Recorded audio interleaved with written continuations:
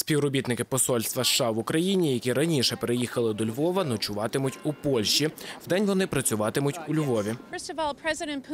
Up. По-перше, президент Путін продовжив накопичення військ. Він їх не відвів від кордонів. Друге, це агресивні військові дії на Донбасі. Третє це промова Путіна, яку ми вчора почули. Думаю, ми всі можемо погодитись, що це не була промова розсудливої людини. Тому ми повинні бути обережними і будемо їздити на ніч у Польщу, а вдень повертатимемось в Україну.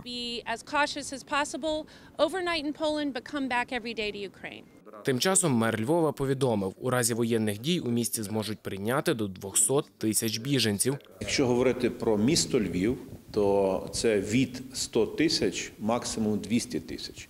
Якщо ми говоримо про Львівську область, якщо буде відповідне сприяння, то дійсно можна дійти до мільйона. У лікарнях Львова готують запаси крові. Також облаштовують лікарняні ліжка у підземних сховищах. Таких у першому медичному об'єднанні Львова буде 150. буде мати резервне джерело живлення, е, окремо водопідведення, окремо кисневу мережу, і також е, в ній буде окремо створена операційна, в якій зараз проводяться ремонтні роботи, облаштування для того, щоб в разі надзвичайної ситуації в Україні ми могли.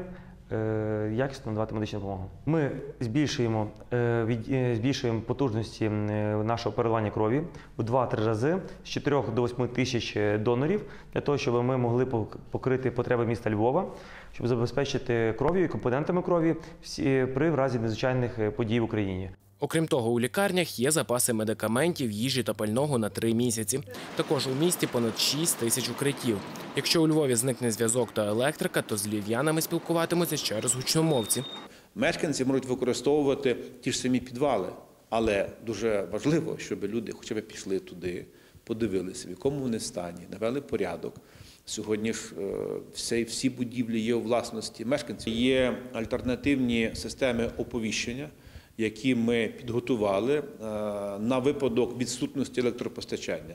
Якщо говорити про комунікацію, то вона є забезпечена, використовуючи певні можливості спеціального зв'язку, щоб місто могло функціонувати.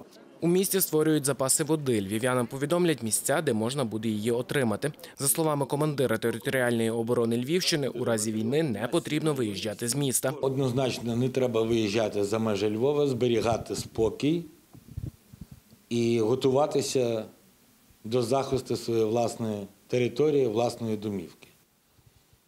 По е, вертикалі влади відповідні служби отримали відповідні розпорядження щодо дій в тій чи іншій ситуації. Назар Онисько, Володимир Стадник. Новини на Суспільному. Львів.